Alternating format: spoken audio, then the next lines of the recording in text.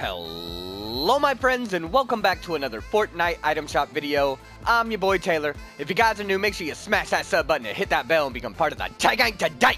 If you guys are looking for one easy way you could help support me, my channel, and its monthly giveaways, you could use my supporter creator code in the item shop before you make purchases. Let's see if the summer bomber comes out today, guys. Yes, there you go. The beach bomber is there, guys. 1200 V-Bucks, man. It comes with that skateboard right there. Pretty nice, man. It's been a long-awaited skin. Then we have the Brite Stars right here. That's a nice-looking wrap.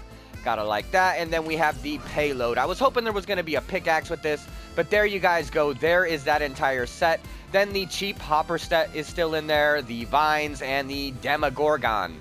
There you guys go. There is that set right there. Then we have the Flying Carp, 800 V-Bucks. You guys have seen it before. Nice glider.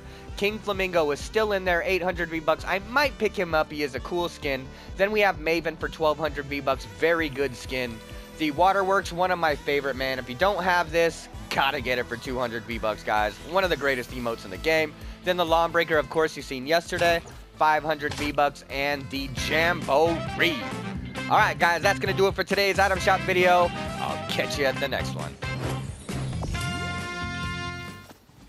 Ooh, Jedi Destroyer, shouts out to you, buddy. Thank you for that. I'll catch you at the next one.